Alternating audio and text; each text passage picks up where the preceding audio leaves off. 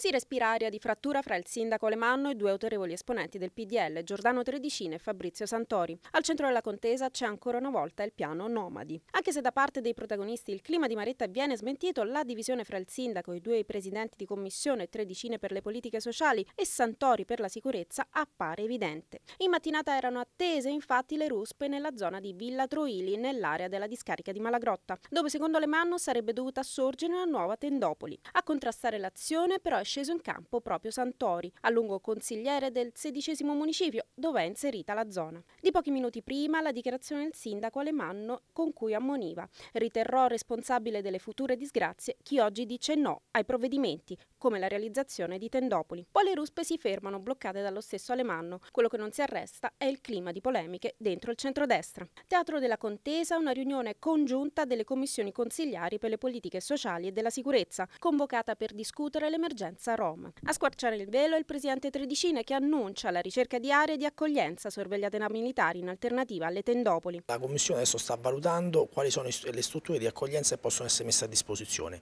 Siamo sull'ordine di 700 persone da poter ospitare, ma stiamo valutando se queste strutture sono al momento disponibili.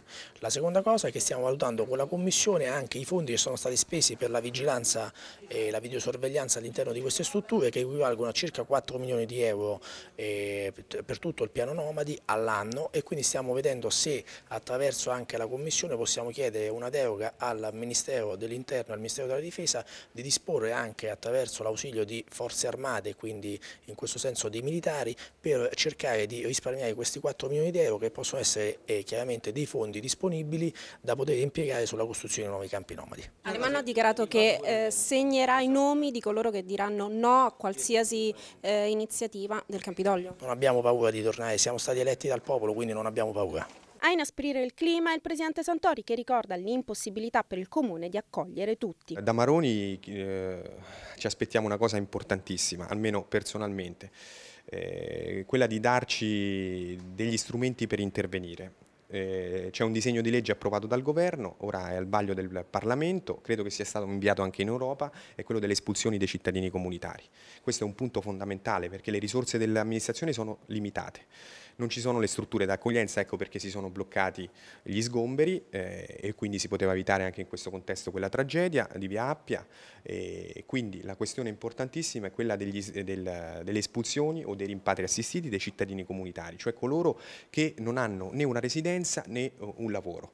Questo lo dice una direttiva europea, deve essere immediatamente applicata perché noi possiamo fare la nostra parte fino a un certo punto. Quando finiscono eh, fondi, finiscono strutture d'accoglienza, non dobbiamo dare un messaggio dell'accoglienza per tutti. Accoglienza per tutti vuol dire tendopoli in ogni municipio, vuol dire eh, realizzare strutture che poi verranno costantemente eh, colmate dalle, dagli nuovi arrivi che arriveranno soprattutto dalla Romania. Ora abbiamo anche il problema di Lampedusa, non so adesso come vogliamo comportarci in questa situazione, serve durezza e dare un messaggio chiaro. Roma non è la città eh, che può accogliere tutti, è una città che ha le, le, porte aperte, che ha una grande assistenza, noi spendiamo milioni di euro per l'assistenza in genere e quindi è evidente che serve una politica differente. A buttare acqua sul fuoco è invece il delegato del sindaco per la sicurezza Giorgio Ciardi, presente alla riunione. Se noi riusciamo a trovare delle strutture d'accoglienza più valide e che possono garantire maggior eh, sicurezza a, a, queste, a, queste, famiglie, eh, tanto meglio.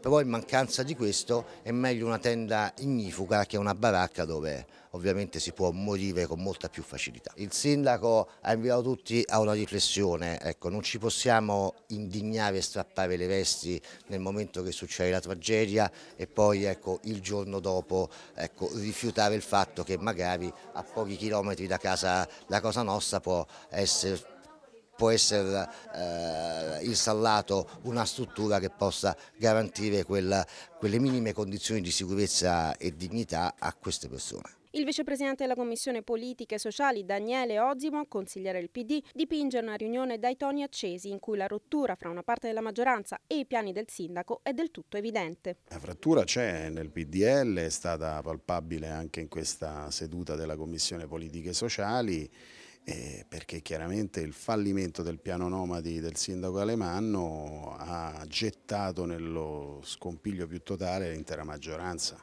Questo è un piano che ha attribuito all'amministrazione Alemanno sul tema nomadi ingenti quantità di risorse, 30,8 milioni di euro, mai nessuna amministrazione prima aveva potuto disporre di risorse simili e in realtà ci troviamo di fronte al fenomeno dei microcampi abusivi esplosi completamente nella città, viaggiamo intorno alle 250 unità e ci ritroviamo con lo stesso identico numero dei campi attrezzati, sette erano nella precedente amministrazione e sette permangono ancora adesso.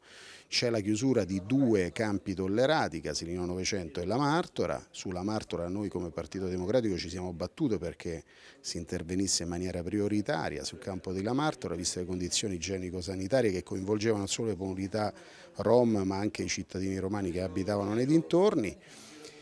Tra l'altro la chiusura di questi due campi ha determinato il sovraccarico di presenze in eh, 5 di 7 campi attrezzati, quindi siamo in una fase di stallo e oggi l'amministrazione Alemanno pensa bene di litigare eh, e quindi assistiamo a questi teatrini in commissione nel quale pezzi del PDL accusano altri pezzi di inettitudine. Intanto il sindaco Alemanno ha assicurato che ascolterà i consiglieri sia di destra sia di sinistra, contrari ai nuovi insediamenti provvisori della popolazione nomade esclusa dai campi regolari.